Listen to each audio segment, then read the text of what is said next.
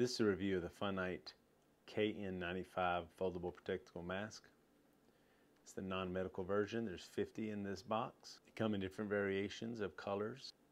So here's the black version of the mask itself. You can see the KN95 on there. Very lightweight. It's got good stitching in there.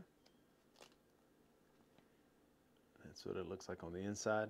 Once you actually put it on, it does have the actual nose band here that you can shape to your nose for an optimum seal.